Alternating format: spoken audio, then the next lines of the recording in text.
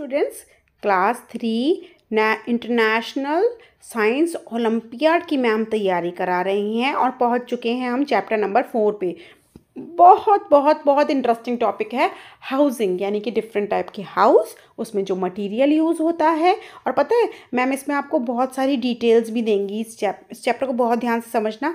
Clothing यानी कि different type के कपड़े जो कि डिफरेंट स्टेट्स में पहने जाते हैं, मैम आपको शो करेंगी। ठीक है? ऑक्यूपेशन होता है, आप किस तरीके की काम करते हो। ठीक है? वो भी इसमें हम डिस्कस करेंगे। तो छोटी सी बातें इसमें बताई हैं कि घर की साफ़ सफ़ाई कैसे रखनी चाहिए, घर में वेंटिलेशन होना चाहिए, घर में डिफरेंट टाइप के रूम्स होने चाहिए, और नेचुरल और मैन मेड फाइबर्स क्या होते हैं डिफरेंट तरीके का कपड़ा जो हम डिफरेंट मौसम में पहनते हैं, और ऑक्यूपेशन लोगों के डिफरेंट डिफरेंट व्यवसाय।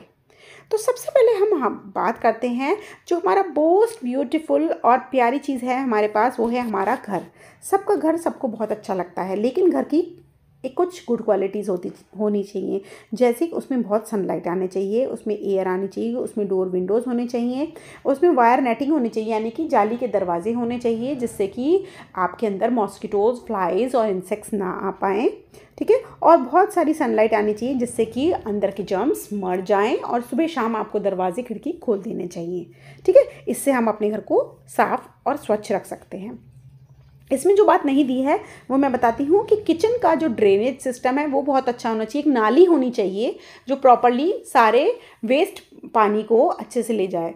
बाथरूम के अंदर जो आपकी पॉटी होती है, उसका सीवेज बहुत अच्छा होना चाहिए, क्योंकि अगर आपकी पॉटी के जर्म्स घर में फैलेंगे तो सब बीमार हो जाएँगे। तो पॉटी का जो पानी है, वो सीवेज कहलाता है नाला तो वो बहुत अच्छा सिस्टम होना चाहिए। ठीक है? वॉश बेसन में पाइप्स क्लीन होने चाहिए, वो भी ड्रेनेज सिस्टम में आते हैं। ठीक है? अब डिफरेंट तरीके के घरों के बारे में हम यहाँ पर डिस्कस करेंगे। बेटा, दो टाइप के घर होते हैं, कच्चा हाउस पक्का हाउस कच्चा हाउस वो होते हैं जो कि बैम्बू से बनते हैं स्ट्रॉ से बनते हैं स्टिक से बनते हैं, ठीक है? आप सब लोग ये वाले घर के टाइप ज़्यादातर विलेज में देखते हैं, ठीक है? पक्का हाउस वो होते हैं जो सिटी में बनते हैं, जिसको सीमेंट से बनाते हैं और ब्रिक से बनाते हैं स्टोन से बनाते हैं कंक्रीट से बनाते हैं और उसमें बहुत सारे कमरे होते हैं। लेकिन पक्का हाउस भी बहुत तरीके के होते हैं। वो बंगलो होते हैं, वो मल्टी स्टोरीड बिल्डिंग्स होती हैं, वो फ्लैट्स होते हैं, ठीक है? और अलग अलग जगह पे अलग अलग तरीके के घर होते हैं। जैसे ये है एक इग्लू इग्लू होता है उन एरियाज़ में जो बहुत ठंडे जगह होती हैं। और ये यहाँ पे जो रहते हैं, वो होते हैं एस्कीमोज ये ब्लॉक ऑफ़ आइस से बनता है। अंदर का एरिया में वो एनिमल स्किन लगा देते हैं, जिससे कि वहाँ पे गर्मी रहे। बहुत बहुत वाले, बारिश वाले एरिया में स्टिल्ट हाउस होते हैं, जिससे कि बारिश में पानी, बारिश का पानी घर में ना आए और घर ना डूबे। इन चीज़ों को ये जो बम्बू जिन पे खड़े रहते हैं, इन्हें स्टिल्स कहते हैं। वुडन पोल्स को। और बहुत ही ब्यूटीफुल हाउस बोट होती है। कभी आप केरला जाओ तो हाउस बोट में ज़रूर जाना। बहुत अच्छे आप ढील, ढीले ढीले चलते चलते लहरों पे अपने आप को इंजॉय करा सकते हो। वहाँ पे एक छोटा सा किचन होता है, छोटा सा बाथरूम होता है, छोटा सा, वहाँ पे लिविंग एरिया होता है और आप इसमें सवारी कर सकते हो। ठीक है? बंजारे जो लोग होते हैं या जो रिफ्यूजीज़ होते हैं, वो कारावैन कैनवास के में रहते हैं कपड़े वाले घर में, जैसे कि टेंट कहते हैं। ठीक है? टेम्परेरी होता है ये पॉज उसके बाद चलती फिरती वैन को, जिसमें लोग रहते हैं, वो कार कैरावैन कहते हैं। ठीक है? ज़्यादातर हीरो हीरोइंस भी ना कैरावैन में तैयार हो जाते हैं और कैरावैन के बाहर आके शूटिंग करके फिर उसमें चले जाते हैं। अंदर बिल्कुल घर जैसा माहौल होता है। ठीक है? तो ये था हाउस का डिस्कशन अब है डिफरेंट टाइप के क्लोथ्स जो आप डिफरेंट सीज़न में पहनते हैं, ये सब ना बहुत ही आसान है कि हम सीज़न के अकॉर्डिंग कपड़े पहनते हैं, हम जो है वो फाइबर के अकॉर्डिंग जैसे कि नेचुरल और मैनमेड फाइबर के ही पहनते हैं सिंथेटिक फाइबर होता है जैसे कि नाइनॉन और वो सब ना चुभता है बॉडी में तो वो उससे पहन के हमें आराम नहीं आता। कुछ नेचुरल फाइबर्स होते हैं जैसे कि कॉट कॉटन जूट और कुछ एनिमल फाइबर्स होते हैं, जैसे कि वुल और सिल्क ये सब हमें एनिमल से मिलते हैं। कुछ मैन मेड फाइबर्स होते हैं, मैंने जो बताया जो सिंथेटिक होते हैं, जैसे कि नायलॉन एक्रेलिक पॉलीएस्टर ये सब मैन मेड आइटम्स होते हैं, इन्हें सिंथेटिक फाइबर भी कहते हैं इंपॉर्टेंट है। उसके बाद जो थर्ड टॉपिक इस चैप्टर में डिस्कस किया है, वो है ऑक्यूपेशन ऑक्यूपेशन होता है कि हम पैसे कमाने के लिए अलग अलग तरीके की जॉब करते हैं, जैसे टेलर क्या करता है, कपड़े सिलता है कारपेंटर क्या करता है वो लकड़ी का सामान बनाता है, कॉबलर क्या करता है, जूते जूते बनाता है, जूते साफ़ करता है, प्लम्बर क्या करता है, रिपेयर करता है, टैप्स को, मैसन क्या करता है, मैसन होता है एक लेबरर जो कि मज़दूर होता है, वो घर बनाता है। ग्रीन ग्रॉसर क्या करता है, ग्रीन ग्रॉसर होता है, जो दुकान पे बेचता है सामान, परचूने का सामान। वेंडर्स होते हैं, हॉकर्स होते हैं, जो ठेला लेके बेचते हैं। इसी तरीके की डिफरेंट डिफरेंट ऑक्यूपेशन होती हैं नर्स की होती है टीचर की होती है प्रिंसिपल की होती है लॉयर की जॉब होती है पुलिसमैन की जॉब होती है सिक्योरिटी गार्ड की जॉब होती है, बहुत सारी जॉब्स इस तरीके के ऑक्यूपेशंस होते हैं। ठीक है? अब आगे में हम इस इस चैप्टर में डिस्कस करेंगे हमारे प्रैक्टिस क्वेश्चंस बहुत ध्यान से सुनिएगा।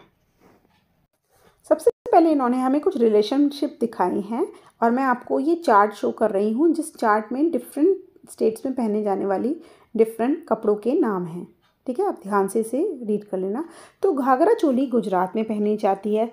तो मेखला मेखला चादर जो है, वो कहाँ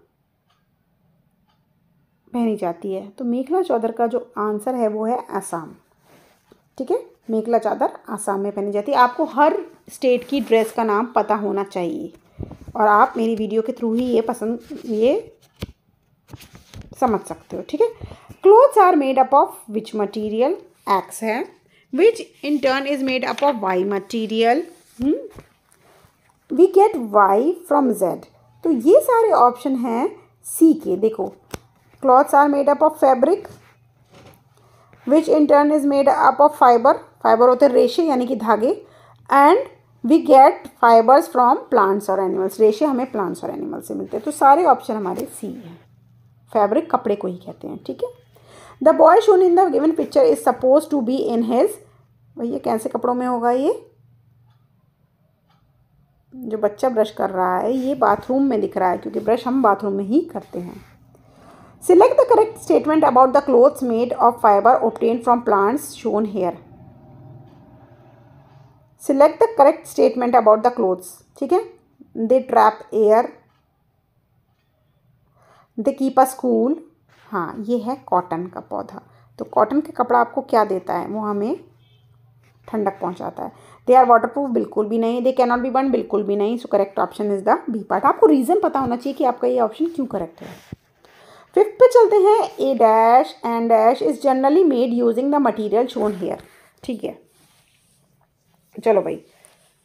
Igloo, pucca house caravan kutcha house kutcha house झोपड़पट्टी जो होती है कच्चा हाउस की, वो बैम्बू से बनती है और स्ट्रॉ यहाँ पे लगा होता है और यहाँ पे बैम्बू पोल होते हैं।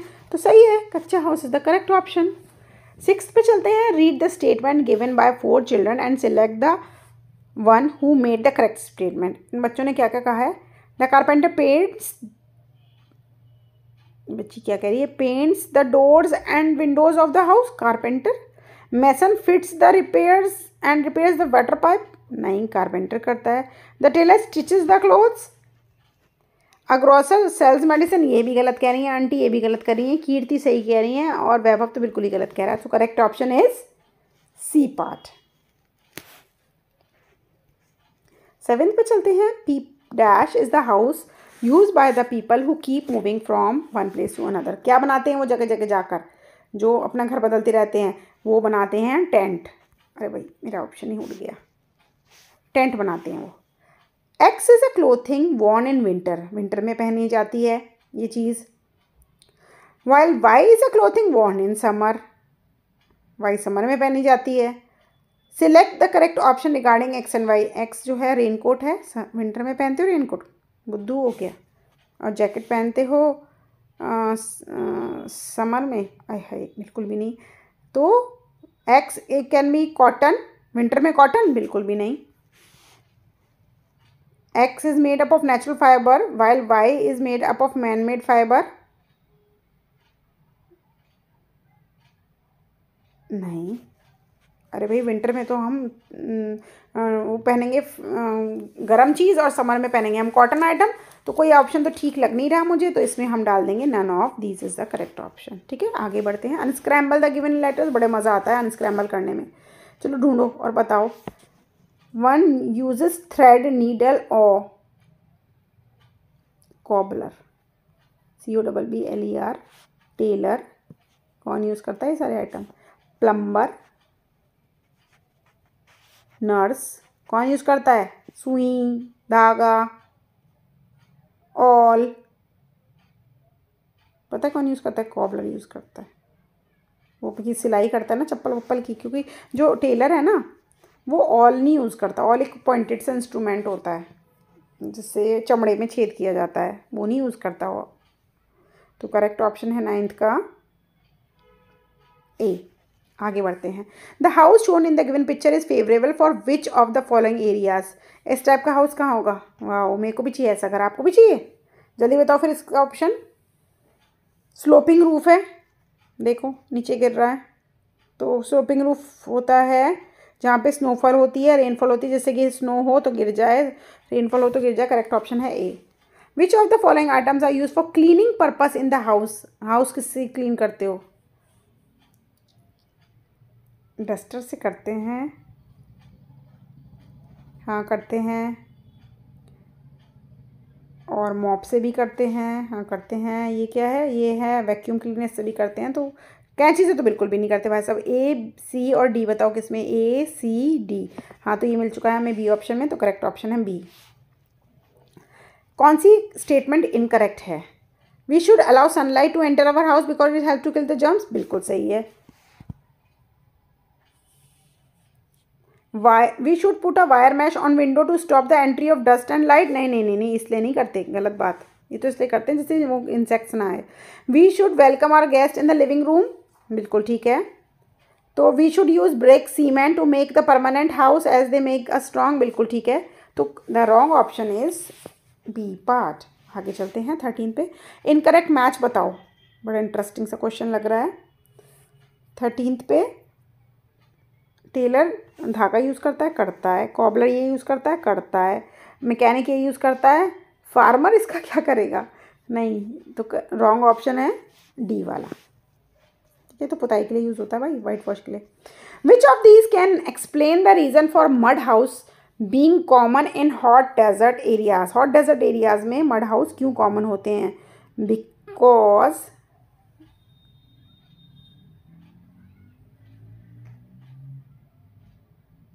mud houses come remain comparatively cooler in summer बिल्कुल ठीक है। Rainfall is very scarce in desert areas ये तो कोई आंसर ही नहीं हुआ। Mud houses remain comparatively warmer in summers ये दोनों आंसर सही लग रहे हैं मुझे। सो करेक्ट ऑप्शन है ए और बी इसका आंसर सही बैठ रहा है डी ऑप्शन यानी कि। ठीक है। Select the incorrect match incorrect match को सही करो। टेंट में नोमैड्स रहते हैं। ठीक है। इग्लू में एस्कीमोज रहते हैं यस स्पेनर्स जो है, उसमें बार बार रहते हैं. चेन टूल जो है मैकेनिक यूज़ करते हैं. ये भी सही, ये भी सही, ये भी सही, ये गलत है.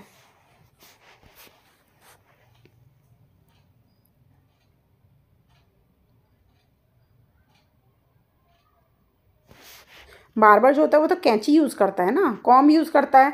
स्पेनर्स तो एक मैकेनिक यूज़ करता है. टाइट करने के जो होता है। अचीवर सेक्शन है, दो नंबर का क्वेश्चन होगा। Given house can be categorise into two groups on the basis दो अलग अलग तरीके के एक तो वन है टू है थ्री है। ठीक है? Portable and temporary house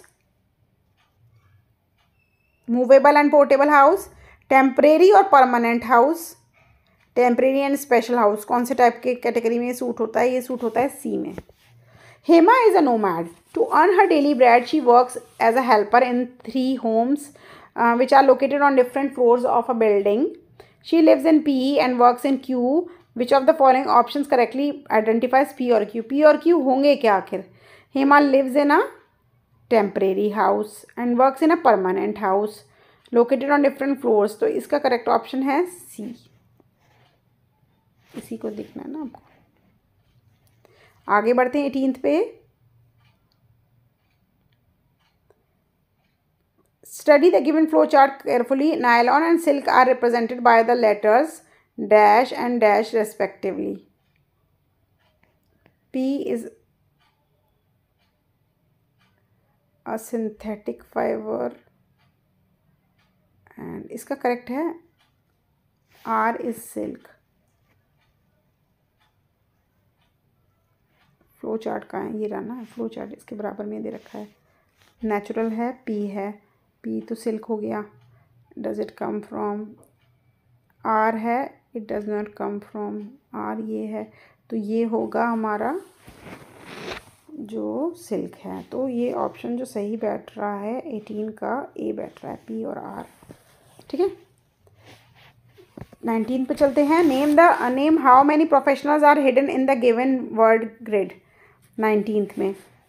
बहुत इजी है फार्मर दिख रहा है मुझे एक तो साफ़ साफ़ और क्या क्या दिख रहा है मुझे? फार्मर की कुल्हाड़ी दिख रही है spade S P A D E और क्या दिख रहा है मुझे? एक मुझे पॉटर दिख रहा है ये।